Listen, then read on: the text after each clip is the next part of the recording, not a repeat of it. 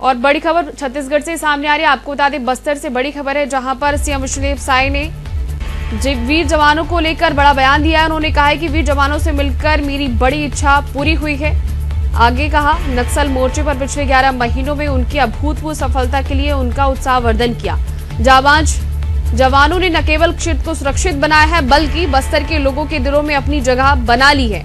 PM Modi और गृह मंत्री अमित शाह का नक्सलवाद के समूल उन्मूलन का संकल्प साकार हो रहा है। संकल्प को साकार करने में हमारे वीर जवानों का साहस और समर्पण अद्वितीय है। तो आपको बता दें, ये इस तरीके की बातें उन्होंने जब कही है, जब वो वीर जवानों से मिलने, सीएम विष्णुदेव साय आपको बता दें बस्तर पहुँचे।